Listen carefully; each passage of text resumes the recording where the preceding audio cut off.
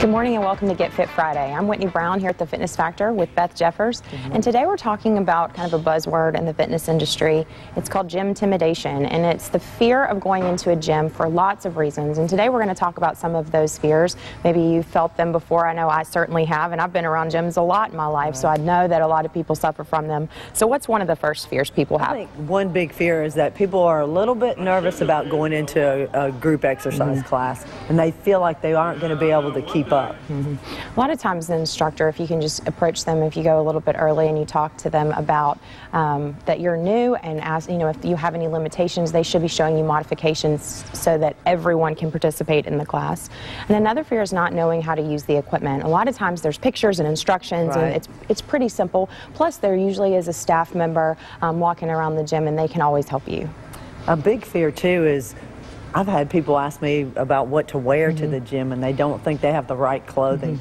And for the most part, you have a couple people that might have the matching outfit on that they've ordered online or whatever, but most people just wear black sweatpants or tight tight pants That's and right. a sweatshirt And a t-shirt. t-shirt. So that should definitely not be a fear at all. Whatever you got is fine. You can, we can make it work. And one of the other things is other people's judgment. Now, I know this is a big fear for a lot of people, and I've had my own fear with that when I go into gyms that I'm not familiar with. You know, you just want to make sure that you go somewhere where they're smiling at you, where they look happy. You know, you can do some research online, kind of get a feel for the culture of the gym and see if it's a good fit for you.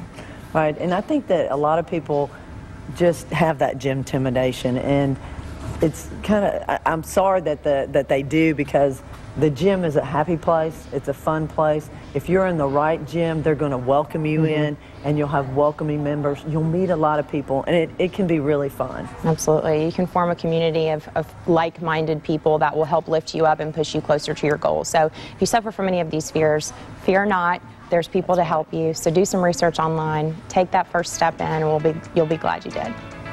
See you next week on Get Fit.